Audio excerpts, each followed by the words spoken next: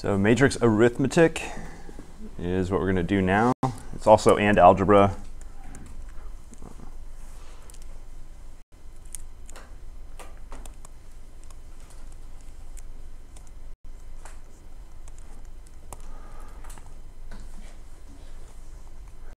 So we'll start out with the easy operation, addition and subtraction.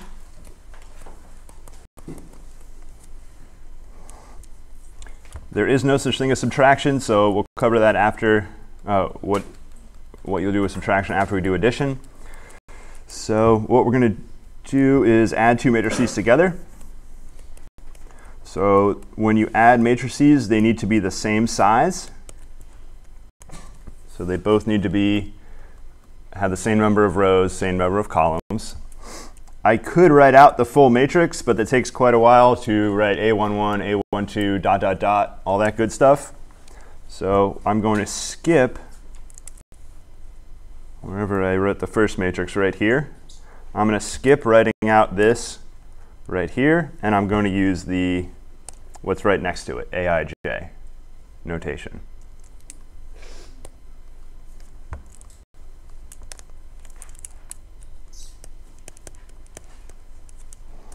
And for the matrix B, we'll just call all the entries with lowercase b. So how do we add A plus B together? All we do is we get a matrix whose elements are the sum of the corresponding elements in each matrix. So you're just adding positions together. So there's really not much more going on with addition than this. It's a pretty easy operation. So we'll do an example.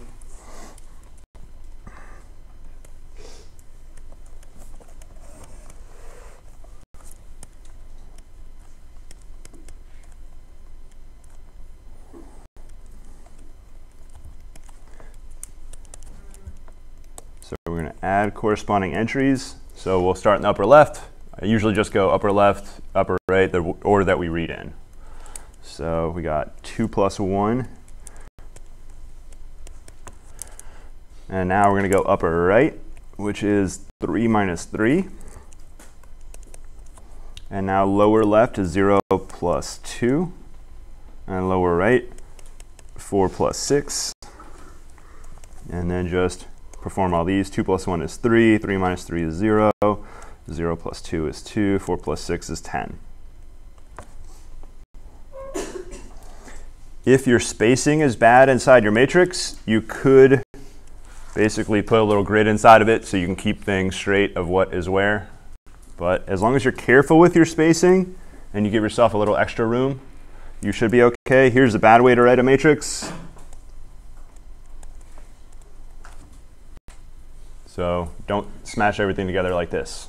I don't know what in the world's going on on the bottom. Is it 21 and then 0 or 2 and then 10? So this is what you want to avoid right here. Uh, so that's a really bad way to write your matrix.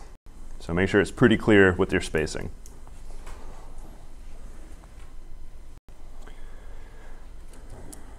So this is addition. There's really not much more to it. We're going to look at scalar multiplication next.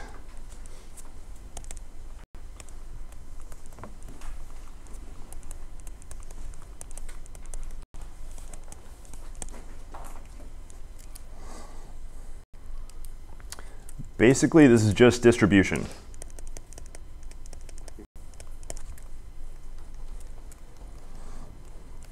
So we're going to use Greek letters to represent scalars, and all scalars are, for us, are just real numbers.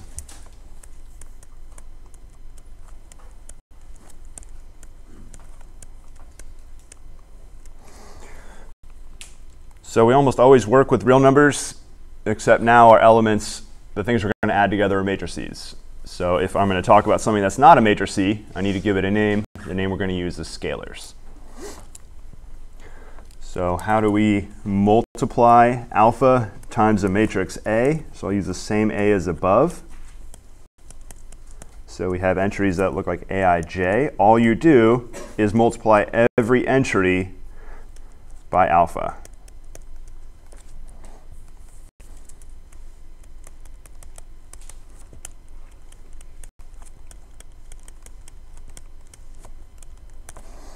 So that's all we do for scalar multiplication. It works just like distribution, except there's usually lots of things to distribute to. So let's do an example.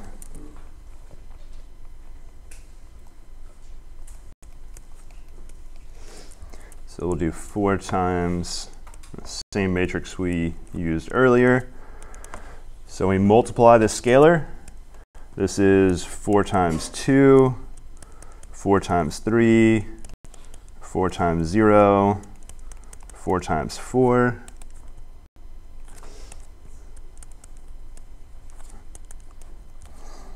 So we have 8, 12, 0, 16. So that's all scalar multiplication is. You're just distributing into your matrix. All right, all these things are equal, these three things I just wrote down. If we went this direction, you would call that factoring or unmultiplying. So if we go this direction, I call that multiplying. If I go the other direction, we usually call that factoring or unmultiplying.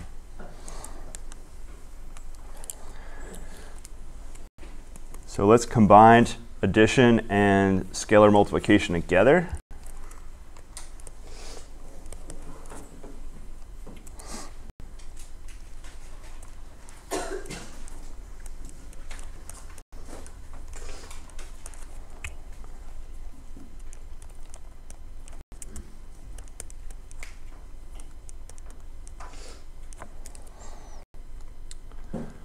So a few minutes ago, I said there's no such thing as subtraction. So the way to deal with subtraction, you're really adding a negative. You can absolutely subtract, even though it is a made-up operation. So all I did here is I turned subtraction into addition of negative 2 times that matrix. So what you need to do first, before you actually add these together, you need to multiply the 5 into the first matrix and the negative 2 into the second matrix. So do those scalar multiples first, and then add the two matrices together. So I want you to do this right now. So you should have two matrices here that you're adding together, and you just add them on the next line.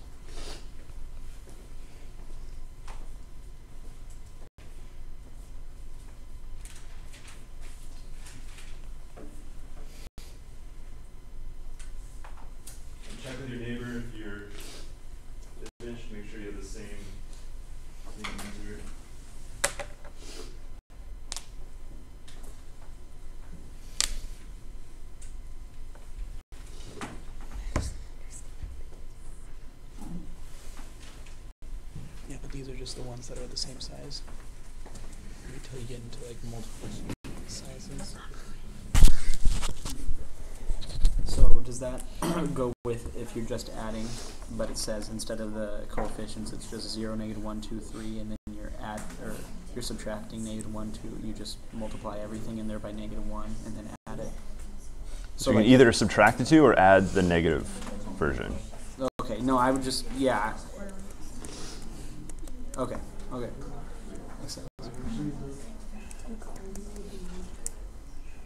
Hmm? Depends. But yeah.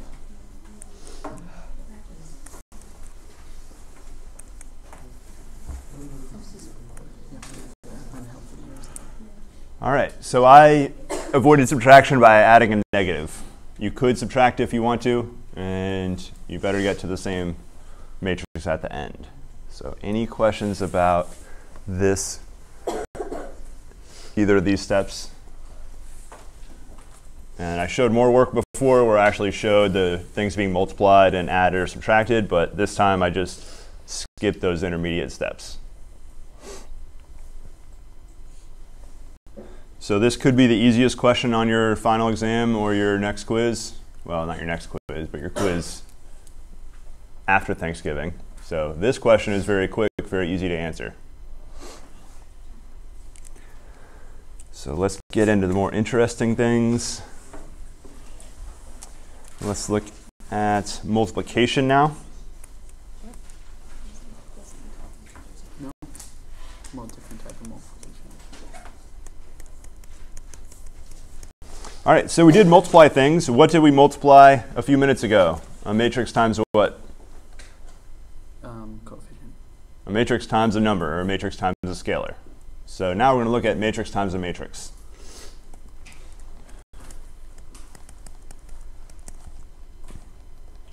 So we're going to look at matrix times matrix.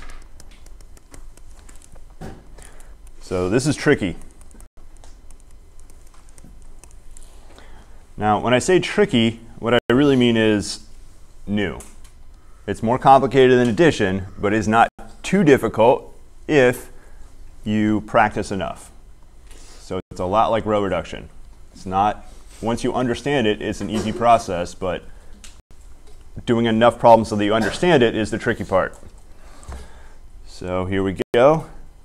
I'll start with a 2 by 2.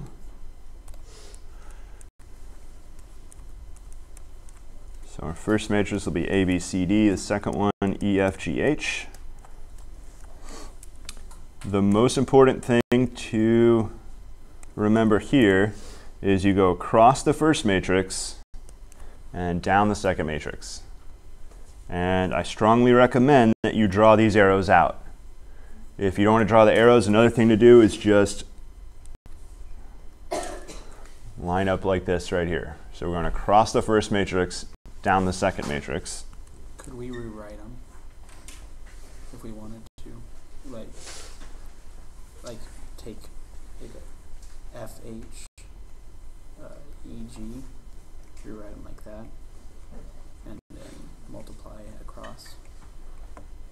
You might be able to do a transpose thing, but I recommend this way. Okay.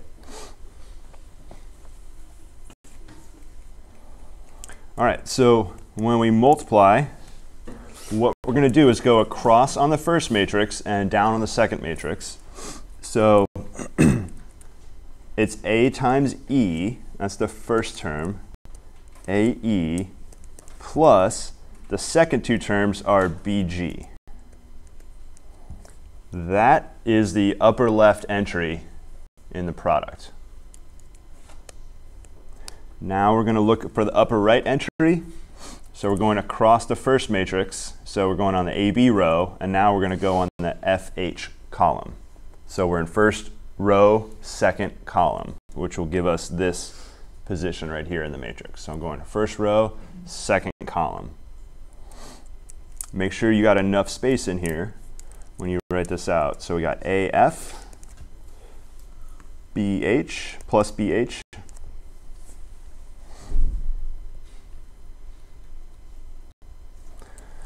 So now we're going for row 2, column 1 position. So row 2, it's the CD, column 1 is EG. CE plus DG. So I want you to write down the last term you get right here. So write down the bottom right. This is row 2, column 2.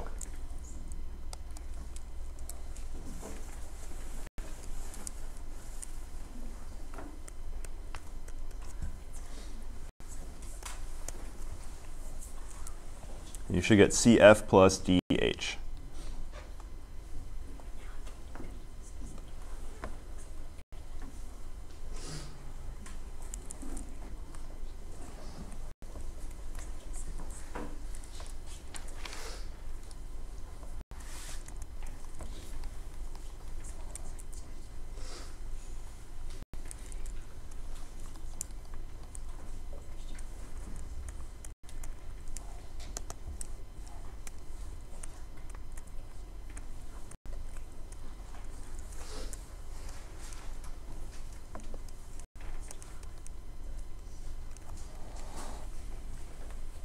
So these two matrices, we're going to multiply them.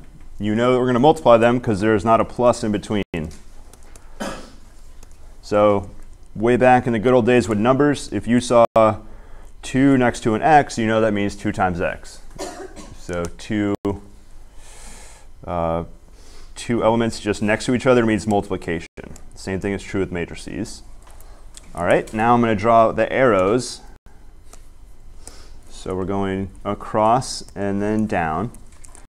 So you can draw in your, now there's two lines you can draw through your first matrix and only one through the second.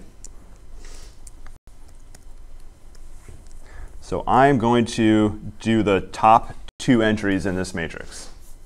So the top two entries going first row, first column, 2 times 6 plus 3 times 1.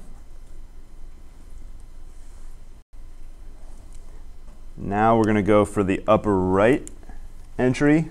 So that's row 1, column 2. So I'm going for this spot over here. I generally go the way that we read. So that's 2 times 2 plus 3 times 0. So this matrix is going to have six entries in it total. So I want you to compute the other four entries here. So you're going to move on to row 2 now and use both of the columns to get these two entries. So I'll give you about two minutes to finish this up. Make sure your neighbor has the same answer you do, or else at least one of you two is wrong, if not both.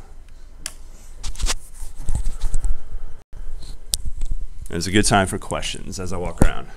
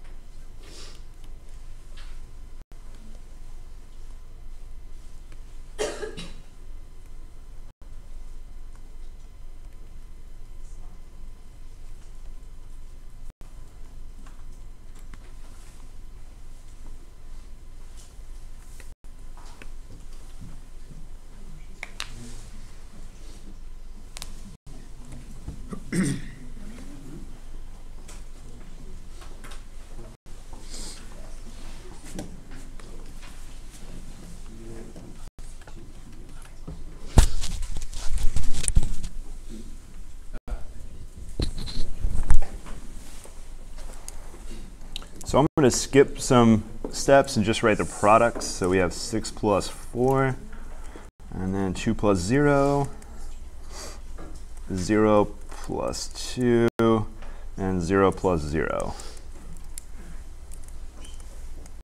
So we got 12 plus 3 is 15, 4, 10, 2, 2, 0. All right, questions on this product here? Is well, is there something that has to do with the dimensions of the matrices? Absolutely. Okay. Yep, so we're going to look very specifically at the dimensions in a minute. So let's try one more example.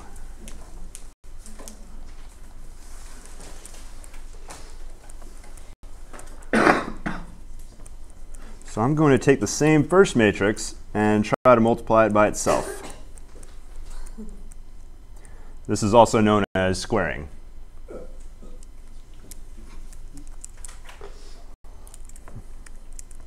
So we're going across, down, same thing we always do.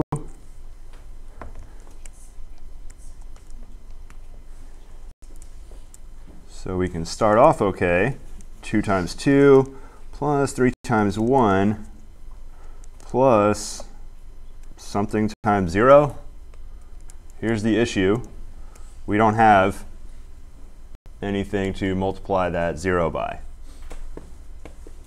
So these dimensions, even though these matrices have the exact same dimensions, you're not allowed to multiply them together. This is really strange. This means there are matrices that can't even be squared. That should seem really, really weird. So there's lots of matrices you're not even allowed to multiply together. It doesn't make sense to multiply them. So that's very different than numbers. You can multiply any two numbers together, no problem. Might take a long time, but any two numbers can be multiplied together. That is not true for matrices. All right, so this entire matrix does not exist. because we're not allowed to multiply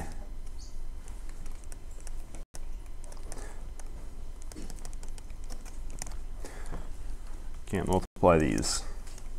All right, so let's look at the dimensions a little more carefully and see what dimensions are we allowed to multiply together.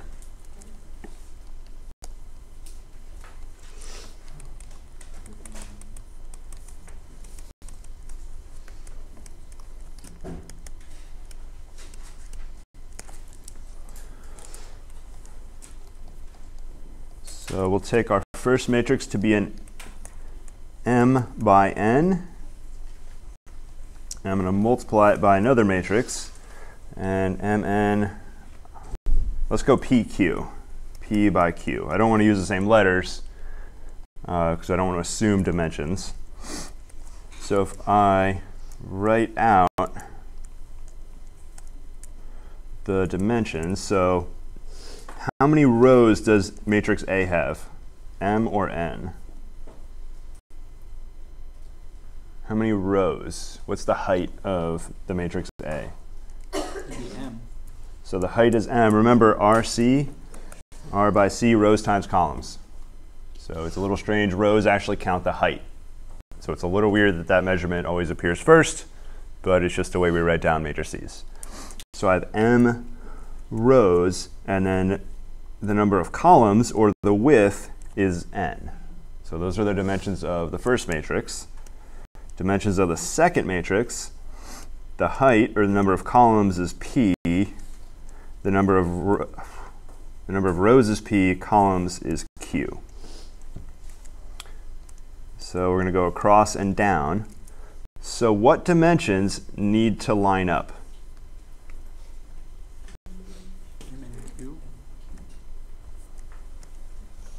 So how many entries am I going across in the matrix? This is A, and this is, of course, B. How many entries am I going across in A?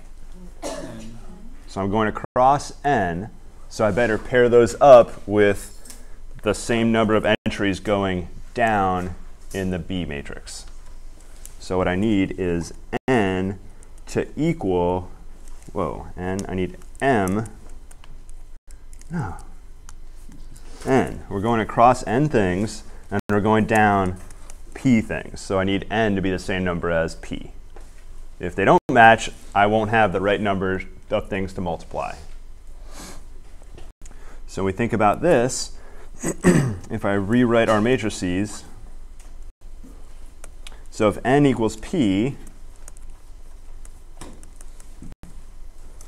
I can multiply wherever I see P, what I'm going to do is fill in N right there, because we said N needs to equal P.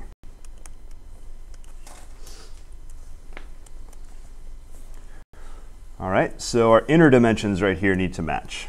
So I call these the inner dimensions.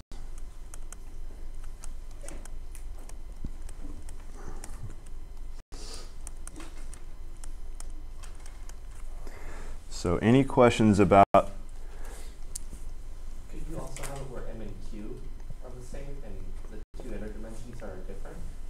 No, because that would, uh, I wouldn't have the same number of elements going uh, down on the first matrix, or across on the first matrix and down on the second.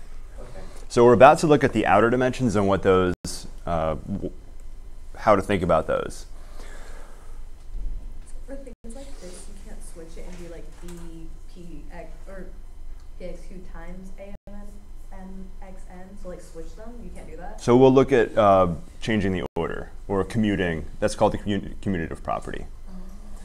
So right away, you should be able to tell things are going to be messed up if I change the order, because the inner dimensions would then be m and q if I change the order.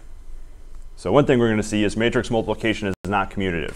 If you change the order, not only could you get a different matrix, you also might not even be able to multiply them. So maybe A times B makes sense, but B times A you couldn't even multiply. All right, let's think of the dimensions. I'm going to call the product, I'll just call it C. I think that fits with the naming convention that I arbitrarily chose. So let's say that we're allowed to multiply these, so we get a matrix here. How many rows will this matrix have? So let's go back to our example. What determined the number of rows in our product? So I got three rows in our product. Where did that come from over here? So it's the number of rows in our first matrix. That'll be the number of rows in our product. So going back down, what's the number of rows in our first matrix? What letter is that? M. All right, let's go back. It should be pretty clear what, if things make sense, what the second dimension is, but let's go back and look again. This isn't the best example because the rows and columns of this matrix are both 2. So I want to know the number of columns over here what determined the number of columns in this product matrix?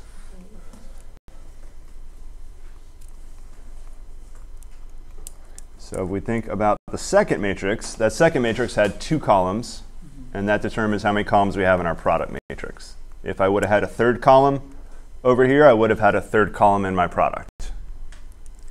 So the columns in the second matrix determine the columns in your product. And if you look, the columns are Q right there. So the easy way to think about it, your inner dimensions have to match, and then your outer dimensions are the dimensions of the product.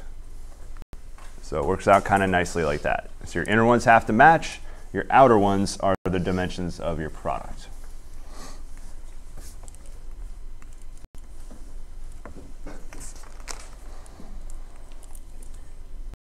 So matrix multiplication is very, it's not easy, but it is straightforward. You have to know when you're not allowed to multiply two matrices together, and then you need to be able to compute the product when you are allowed to multiply them together. So I don't want to keep doing more examples because they all are pretty much exactly the same. Just go across, go down, be careful.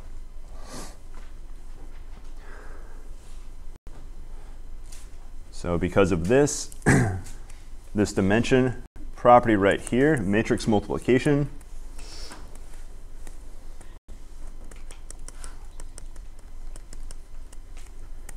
is not commutative.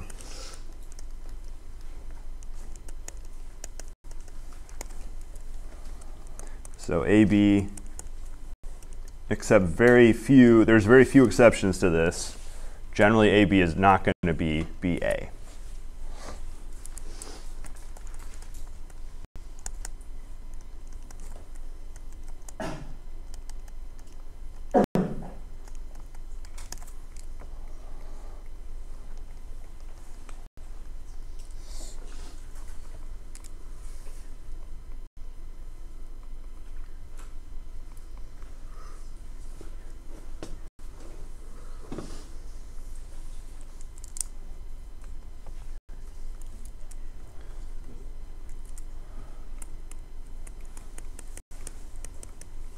So before we talk about the multiplicative identity, let's talk about the additive identity.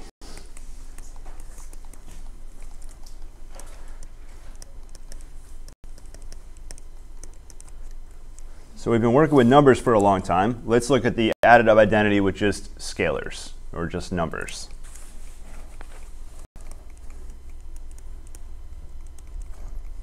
So in scalars, back when everything was a real number,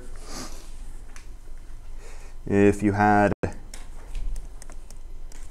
x plus what number equals x? Zero. Plus 0. So if we add 0 to any number, it's not going to change it. So that's what we call the additive identity right there. So in matrices,